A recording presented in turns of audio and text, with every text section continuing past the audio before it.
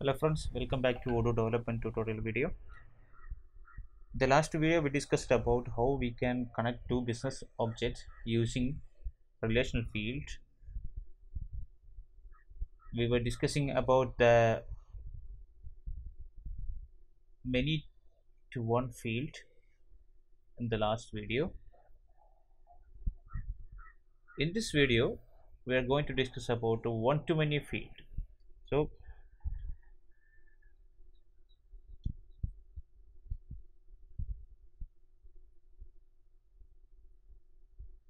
let's get into our code.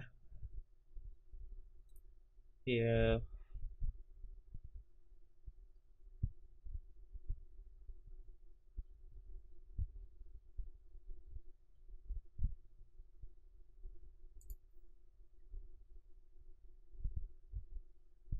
Uh, this is the many to one field that we created in the last video. So the responsible id in the course and instructor id course id in session model.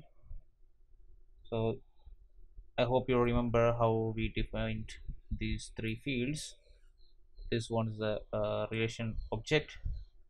This field is related to and then uh, different on delete parameters we used on delete set null on delete cascade etc so now what we are going to do is we are creating a one to many field under this course.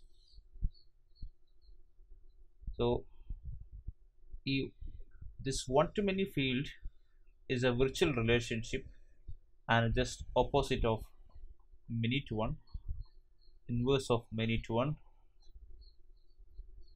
It behaves as a container of records and uh, when we access this uh, field it can be empty or it can be a set of records. So that's a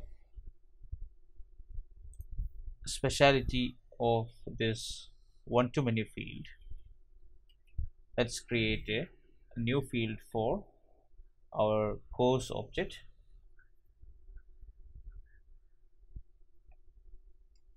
we can call it as session IDs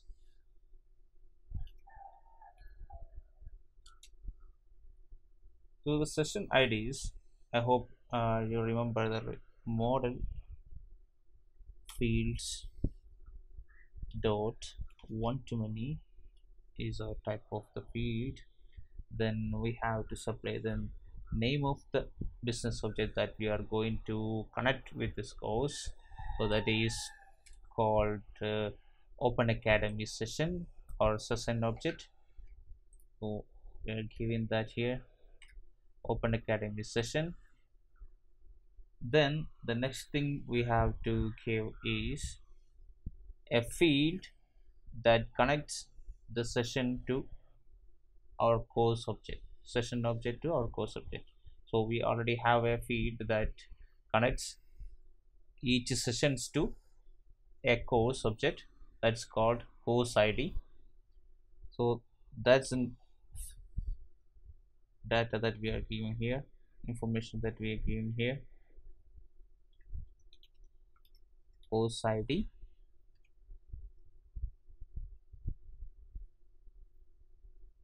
then we can give a string for name the label sessions. So this is our one to many field definition. Session IDs the name itself says there is one, more than one. It can be more than one. That's why we put the name as session IDs with an s.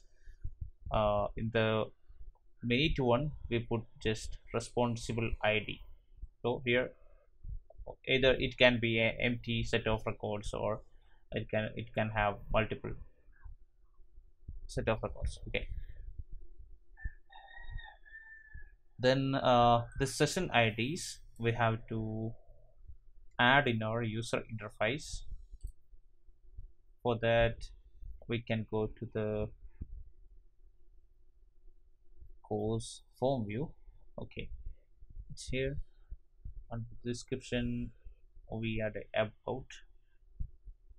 So we can we don't need this so we can remove this and place our session it's here sessions. We change the name to sessions and here we can give field name then our fields session IDs and it's a little different than the normal. Many to one field.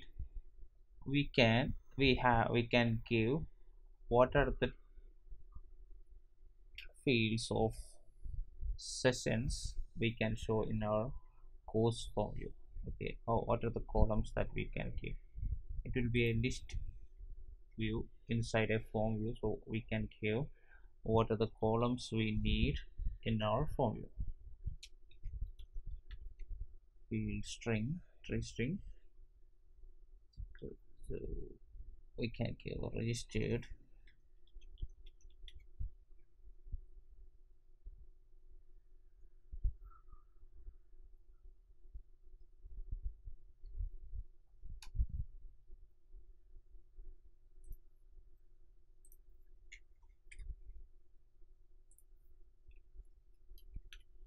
listed sessions. Inside that we can give field name. The name of the field. Then we can give the next field instructor id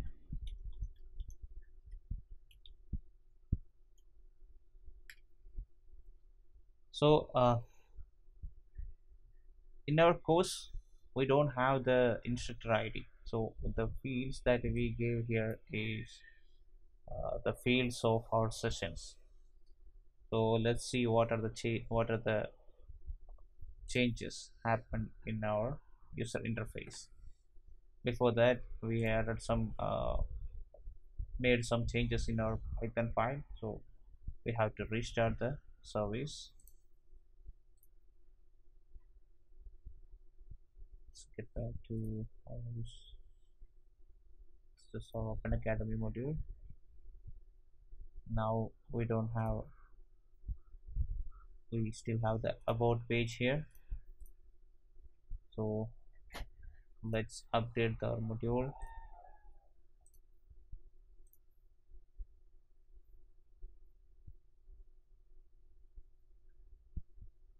And get back to our open academy under the course. Now instead of the about page we have the sessions page here. Let's click on that. Now you see you can see a list of records here.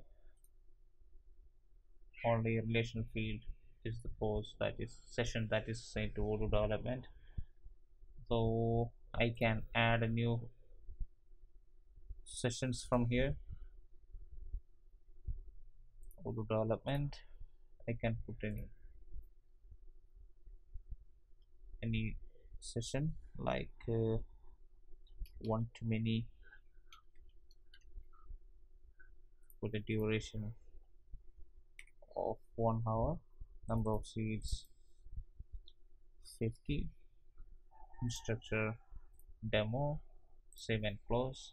So we have two sessions under Odoo development if you go to sessions sorry if you go to sessions you can see that new session under this session you can see the details it comes under the Odoo development so uh, this is how we create one to many field. So it's a inverse of a many to one field and uh, you may have seen this kind of fields in our sale order. You can see the order lines invoices. You can see the move line. So uh, there are a lot of application that, that we can use the one to many field. Uh, I hope you uh, understand uh, how we created a one-to-many field for our courses and uh, Saint how we connected our sessions to the courses and uh, uh, if you have any doubts or clarification required about this uh, about this part you can put under the comment section and we will we will try our best to answer your queries thanks for watching.